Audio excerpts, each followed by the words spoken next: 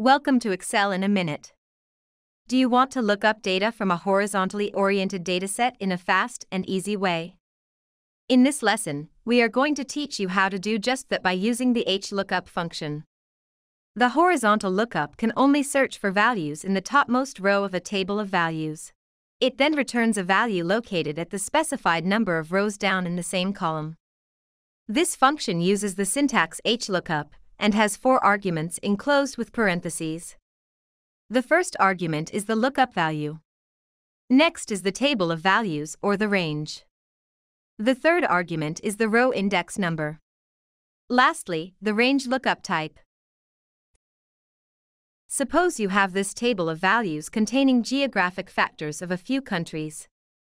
In this example, let's say you are looking for the land area of Italy. The lookup value in this case is cell L20. For the range, select the entire table, but exclude the row headers.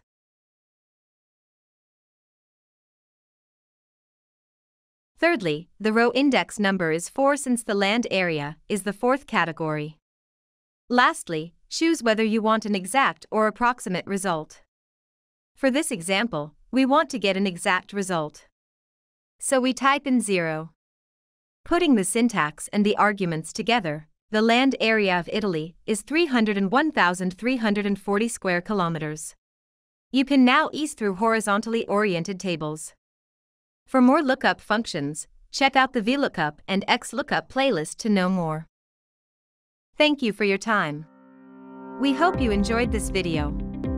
Don't forget to give it a thumbs up and subscribe to our channel for more Excel in a minute.